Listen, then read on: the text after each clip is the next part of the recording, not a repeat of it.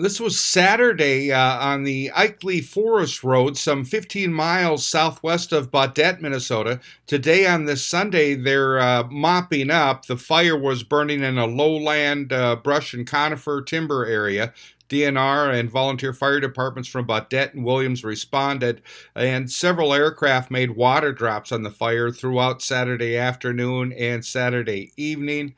Uh, the fire was uh, some uh, 300 acres.